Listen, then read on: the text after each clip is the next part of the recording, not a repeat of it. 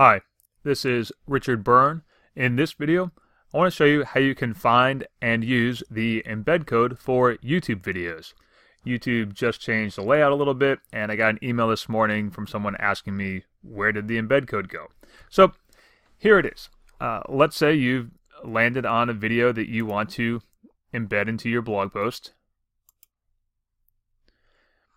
Just scroll down below the video, click the share button,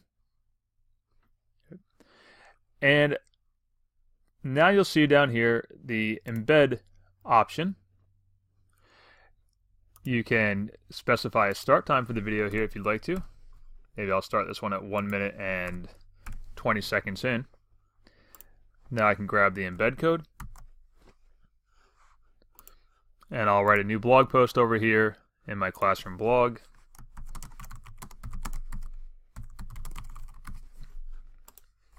And I'll paste in the code